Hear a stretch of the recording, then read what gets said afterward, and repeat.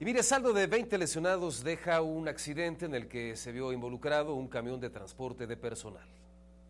Así fue como quedaron los pasajeros de un camión de transporte de personal luego de que la unidad se viera involucrada en un aparatoso choque múltiple al cruce de Avenida 8 de Julio y Periférico en Tlaquepaque. Y es que la unidad de transporte de personal quedó sobre el muro de contención. Elementos de la Unidad Estatal de Protección Civil y Bomberos de Jalisco y paramédicos acudieron al lugar para atender a las 20 personas que resultaron heridas en este percance, de las cuales 10 solo sufrieron lesiones leves y fueron atendidas en el lugar, mientras que 9 tuvieron que ser trasladadas a un hospital privado en estado de regular a grave. Entre los lesionados también se encontraban los conductores de una camioneta y de un auto compacto que se vieron involucrados en el accidente.